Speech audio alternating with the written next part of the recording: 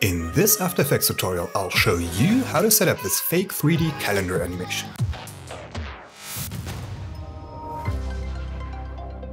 Hi guys, my name is Manuel. We'll quickly create the calendar with just a few shapes, then rip these papers off using standard effects only. Reasons enough to stick around till the end. Let's start by creating a new comp. 120 frames long, we name it calendar. Then we grab the rounded rectangle tool and add a shape. Let's scale it. Uncheck constraint proportions and let's say 380 by 300. 310 pixels seems good. Roundness 20 is fine. No stroke, fill a linear gradient. Let's leave it like that for now. To get that into a fake 3D perspective, we use the Effects and Presets window and add the effect transform. We move the anchor point and the position both to the middle of the top edge. Let's be exact here. Scale 100 and skew 20. Skew x is 0. Now, to balance that out again, we set the rotation to minus 20. Okay, let's name the layer front. We duplicate it, move it below and name it back. For this layer, we set skew to minus 20. Rotation to 20. it Doesn't look that great yet. If you have selected the selection tool and click on gradient fill, you should see two blue points connected with a thin line which we drag around to adjust the gradient going from a very dark purple to a bright pink. that fakes a shadow and we instantly get some depth. Let's quickly adjust the gradient of the front.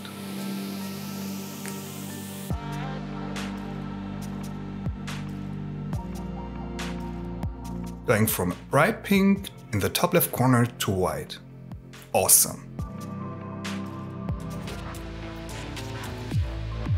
We want this to look like a stack of paper in the front, as there's maybe a whole year piled up. So we duplicate the front, add a stroke. Width 2 pixels, color dark purple. Okay, like that should be fine. And we move it by a few pixels, using the arrow keys. We duplicate it again, move it, duplicate it, move it. That's probably enough. We duplicate it one more time though and pre-compose it. Name it pre-calendar. We open the pre-comp and duplicate the shape. Go into the rectangle path property and shrink the height to less than half and move it up again. We delete the stroke, we don't want it here.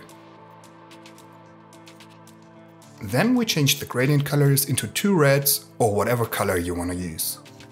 Okay, then we grab the title tool and add some text. Let's add a month to the red shape. Let's say July. Scale it. I usually duplicate the text layer instead of creating a new one. Replace the text and then change the settings. Like the color, the font style and the size. Actually, for more contrast, let's go for a light font style. Scale it. Then we copy and paste the transform effect to the two text layers. Now we need to position, wrong layer. Now we position the text layers. Using the arrow keys again. Awesome. Back to the main comp. One thing still missing the spiral thingy on top. We grab the ellipse tool and create a round shape. Oops, of course we deselect all layers before, we don't want a mask. That's better. No fill, stroke white, width, let's say 4 pixels. We open the ellipse path property to scale it. Around 40 pixels should be fine. Then we add a repeater set copies to 8, open transform repeater and set the x position to 40. Maybe something like 42 is better. Let's position it. Now we need to cut out the part that is behind the paper, and therefore we use trim paths. Set the endpoint to around 80% for now, and then use offset to cut out the right part. Mm, like that maybe? Let's move it down a few pixels though. Still mm, not perfectly right.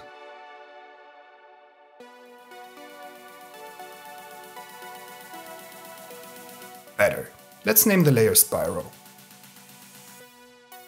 Next, we duplicate the precomp in the project window and change the number into 25, like the day before. And let's quickly add the numbers to the precomps. And then we add 25 to the main comp, below the spiral.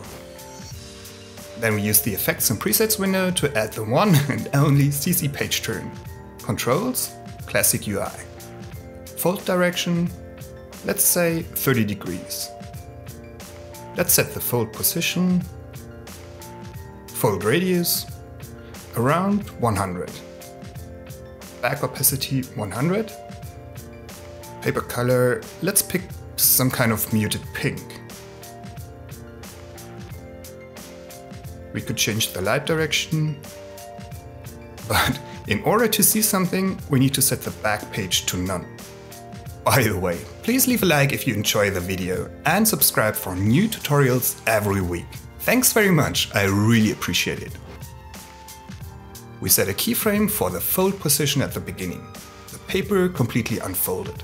Then we go to 10 frames and move the position just before it starts to move under the spiral here. We press U to see the keyframes in the timeline. Then open the graph editor. Make sure Snap is activated and Edit Speed Graph is selected. Then we move the left point down and the handle to the right at the same time. And we move the right handle as far to the right as possible. Then we split the layer at 11 frames. Shift Command D is the shortcut. And move it above the spiral. We move the fold position until the front is hidden. Then two frames later, it starts flying off.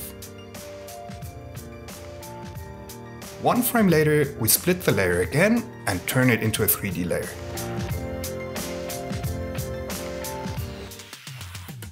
we add a keyframe for orientation and position.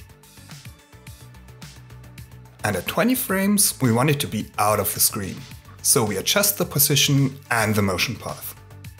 Let's check it out. Okay. Needs some rotation first of all. I think it flies too high. So down with the second position. Readjusting the motion path. Playing with the orientation. We could even try and add CC Bender. Let's try it and play with the settings. It's all a bit trial and error in this case. Seems not that helpful. Maybe a little bit. One last time, playing with the orientation. That seems better.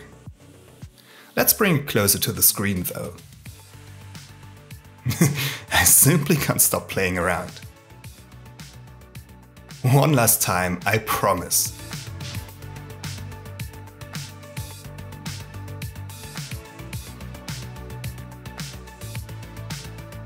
Alright. Too fast, I think. So let's move these keyframes to the right. That's better.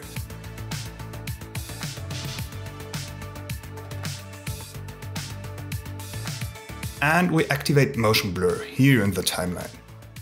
Awesome. I feel we need to give it one last try.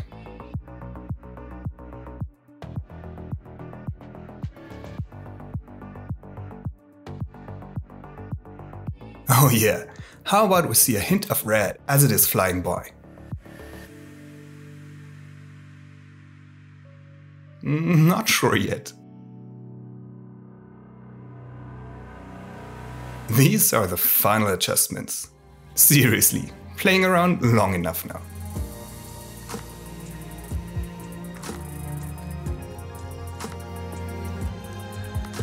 That's it. Lastly, we need to add a shadow, in here to make it look right. So we duplicate front 4 and move it below the paper, which is flying off. Set the blend mode to multiply and adjust the gradient. Dark purple to white. Let's adjust the direction. The dark part goes towards the top right corner, obviously. We don't need the stroke. We now open the gradient fill property and animate the start and end point of the gradient with a few keyframes. Starting dark, brightening up when the paper flies off.